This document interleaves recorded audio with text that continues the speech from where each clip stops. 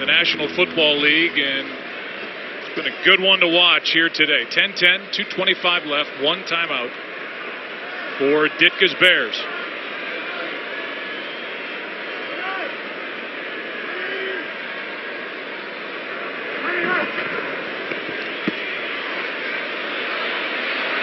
Cutler is going to pull it down and pick up four.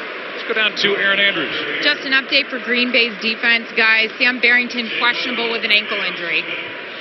Starting inside linebacker. They've got a lot of bodies they can move around at that level for Dom Capers' defense. So his return is questionable, not out there. And we'll see if Chicago snaps it before the two minute warning.